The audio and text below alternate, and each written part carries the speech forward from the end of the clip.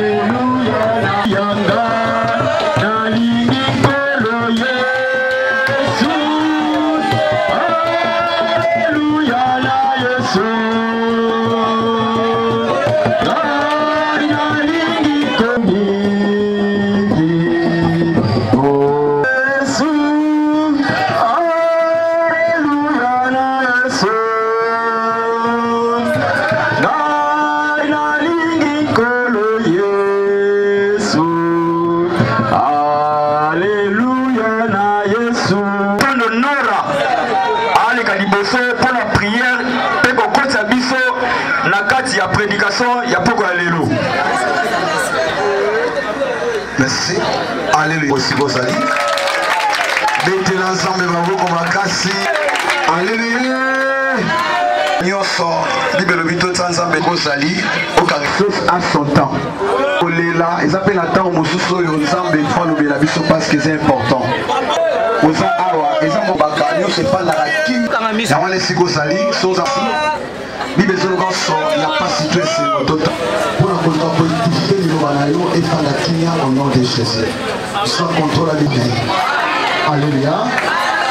bien nzambe azwa lokumu oyo apesi biso butu ya lelo toyebi ete eloko esangisi biso awa eza feti te ezali eloko ya mpasi mpe ya mawa oyo ekomeli biso na libota kobungisa oyo azalaki motuya kati na biso toyebi ete toye awa touti bisika lolenge na lolenge ye mpe de diversité ya l'église na nzambe aza moko liloba oyo toli toyoka eza liloba ya motu te eza liloba ya nzambe sadi soki ozo comprendre ke yoza mwana na nzambe quelque soit Son na yo na eza maka moko ekosepela na kosepela na pokwa lelo to na buta lelo okomprendre ete message oyo eza mpo na yo moto oza na bomoi e moto soki akufi deja bible elobi mpo na ye affaire cecili e ezalaki liboso soki toye na matanga elalefa tozomona ndeko akufi cercueil ya eza wana Tant tozolela ye na des fois tozomona ye mais lelo par rapport ya ba réalité ekomi na mokili oremarke ke nzambe ya defensela biso na bamaniere na bonzambe bible elobi nzambe alobela biso bien te na mokili tanga lokola bapassager tanga lokola bapaya mopaya nyonso ata wumeli na mboka wana lokola eza mboka na ye te sukasuka azongaka na mboka na ye toutaka esika moko Obima na leneya te. Soko za mutu lelo parce que na mutu moko asepela kozala mutu bongo na eza zambe. Ata obotama na nzela ya papa to mama, me kobika na yo eza makasi ya bapara na yo te. Kobika na yo eza volonta ya zambe. Bien aime, lokola mutu awuta na eternite, Bible elobi ete akozonga na eternite. Azo rappeler biso na mokanda ya Genèse, ntango moto asumuki liboso na ye asali lisumu, Nzambe akoki kopesa bato etumbu par rapport ya peche. Azoba na moto abete lokola owutaka mabele ozonga mpe mabele. Mabele eyambaka moto nyonso bien-aime. Atonda mayele otanga ba classe koleka bato na mokolo moko oza na rendez-vous na mabele. Ata oza na mbongo koleka bato nyonso na quartier na yo, liwa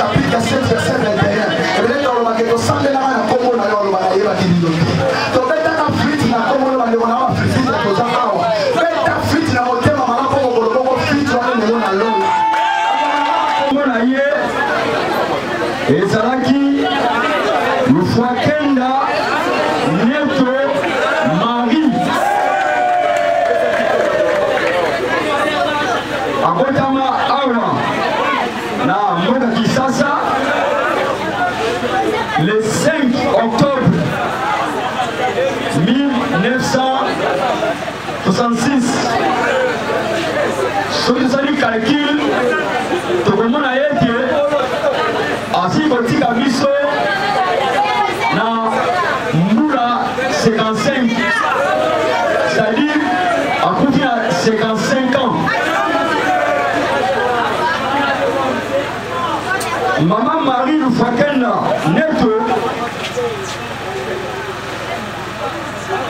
azalaki na baboti papa na ye kombo na ye ezalaki